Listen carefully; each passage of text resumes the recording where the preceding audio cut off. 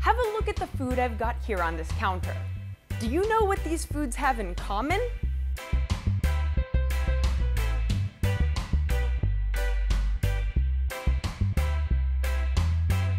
Some are fruits, some are vegetables, some are nuts, some are even seeds. It doesn't seem like they have anything in common, right? But did you know that they all come from flowering plants? That's right, flowers. Flowering plants come in all shapes and sizes. In fact, scientists think there could be almost 400,000 different types of flowering plants around the world. That includes crop plants that produce our food. And most flowering plants start out the same way, as a seed. Making a seed isn't as simple as it sounds. A powdery grain called pollen has to travel from one flower to another flower.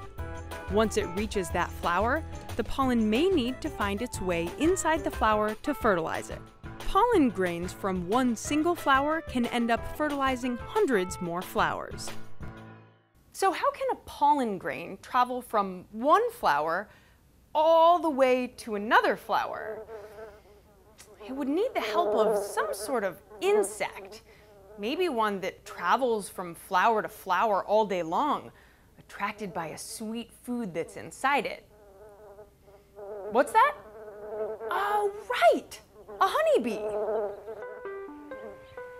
A honeybee visits flowers all day long to collect nectar a tiny bit at a time. How much nectar do you think a honeybee collects in its entire lifetime? Well, the answer is just a few drops. Then the bee brings the nectar back to the beehive, where other bees turn it into honey. Every time a honeybee goes into a flower to suck up that nectar, some pollen grains get stuck on the hairs on its legs.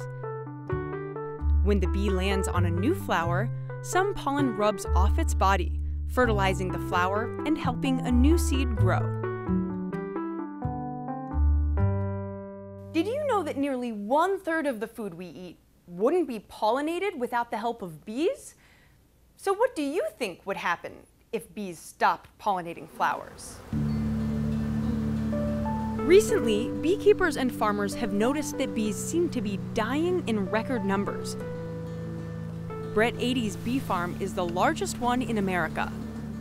Brett raises thousands of bees in hives, collects their honey, and sells the bees.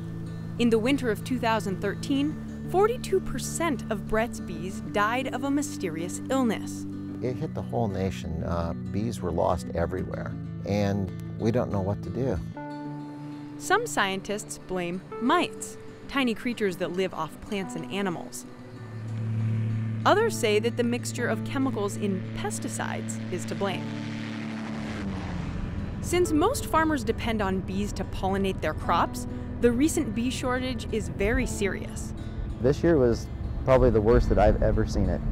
Whenever your whole crop is made in, in one month right there, and your beekeeper just called and said, hey, I don't have the bees, you know, it kind of turns into, into a panic. Get on the phone and calling as many people as they can, trying to find anybody that may have them. To prepare for more bee shortages, some farmers are reserving bees from beekeepers five years in advance. They know that without bees, they'd have no food to sell. So the next time you see a bee going from flower to flower, remember these insects are the hidden heroes behind much of the food we eat.